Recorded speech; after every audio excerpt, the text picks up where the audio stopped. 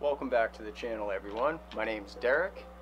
Today we're going to go over how to rig an ox flipping hook with a 6th Sense fishing prawn.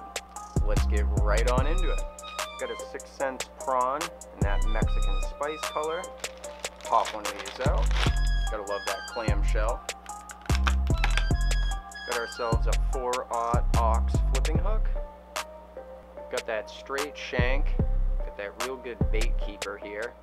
Alright, we've got our Mexican spice prawn and our ox 4-aught flipping hook.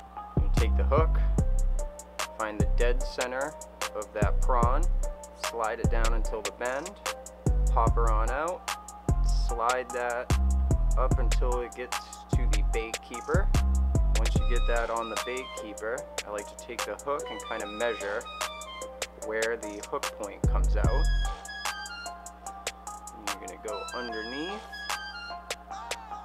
You're to come up and out the center of the bait.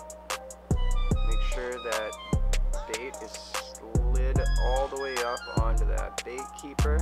That is a Mexican spice prawn rig on a 4-aught ox flipping hook.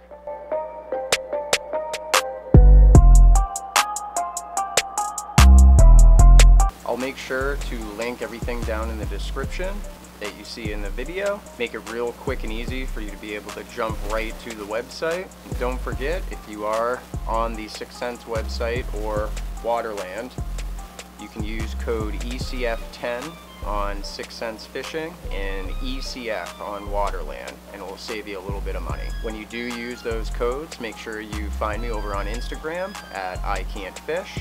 Send me a DM with your order details and that code being used and I'll make sure to share it up onto my stories just to give you guys some recognition for showing me some support. Thanks for tuning in and if you haven't done so already, make sure you go and subscribe to the channel and I'm gonna link some more how-to videos right here. You guys all have a great rest of the day, and until next time,